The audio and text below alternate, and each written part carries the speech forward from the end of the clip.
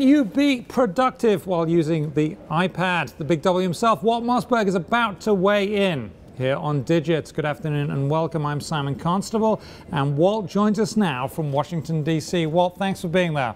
I'm delighted to be here as always. So, pr productivity is something that you do very well. Can you actually Sorry. be productive on an iPad, or is it just for friv frivolity?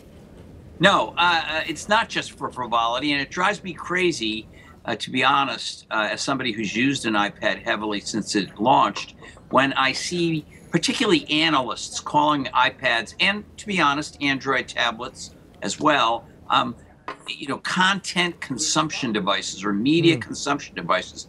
They certainly are that, but there's thousands of productivity apps and functions uh, on an iPad, including uh, specialized, you know, apps for contractors and doctors and salespeople, apps from companies like Oracle and Salesforce and IBM and other big companies, and a whole bunch of office suites that have been designed for use uh, with touch uh, and the uh, iPad interface. So the answer to me is emphatically uh, you can be productive on an iPad. And and you wrote your column using using an iPad this week, right? You used a. I did. A, a, used a. Do you use the, the, the external keyboard or the the on the on on screen keyboard?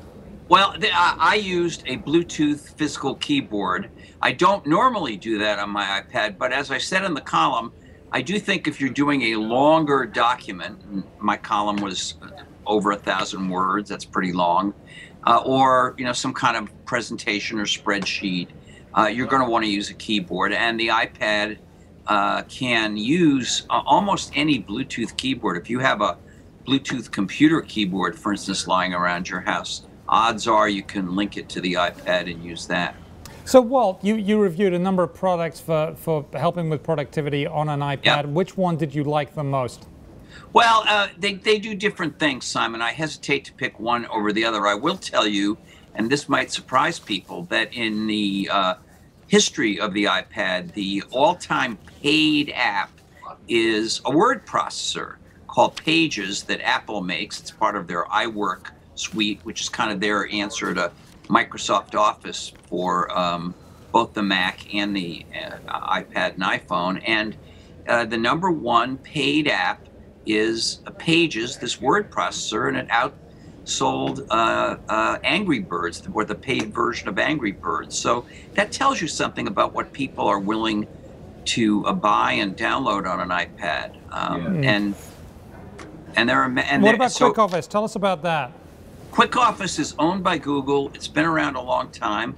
Does a good job. All of these things uh, uh, uh can take in and produce uh, documents in the formats of Microsoft Office. They're, they don't have all the features of Microsoft Office on a desktop, but they are designed to work with the interface of the iPad. And for most average spreadsheets, simple presentations, word processing things, which is really what most people do, uh, they do fine.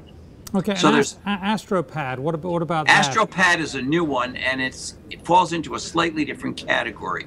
What it does is it provides a, a window sort of on the iPad into a server where they're running on a PC a full desktop Office suite. In the case of AstralPad, it's not official Microsoft Office, it's a version of what's called Open Office. And you get a lot of features and you get better document fidelity on that. But the downside is you can't use it uh, offline because you've got to be uh, in the cloud. And secondly, um, a lot of the gestures and controls are meant for a mouse, and they're a little harder to use on a touch device. So, so Walt, uh, do, do, you think if you just were using, um, on your productivity side, if it was just word processing, was just writing, like writing a column, writing a story, whatever, that you could survive solely on the iPad?